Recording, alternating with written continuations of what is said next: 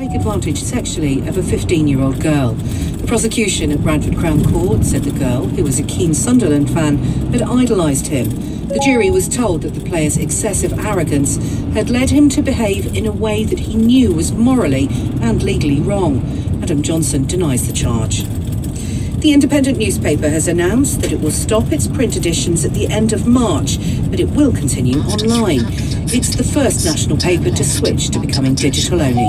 Our media correspondent David Sillito says there's been a slump in sales. At its peak in the early 1990s, the Independent was selling about 428,000 copies a day.